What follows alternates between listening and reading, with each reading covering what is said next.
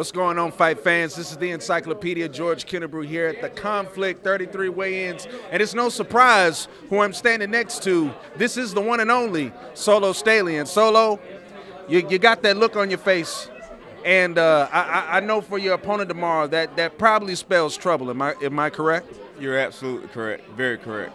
Now you were very outspoken and very supremely confident, I'll say, in your approach and what you were going to do tomorrow. So I trust that um, the calm before the storm is awaiting. So I know that you're going to go in there and handle your business.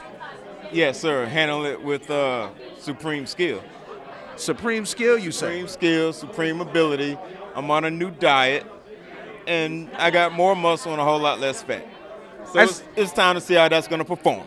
I see that. You got that twinkle in your eye. Yeah. Final words for uh, your opponent tomorrow night. Heal well.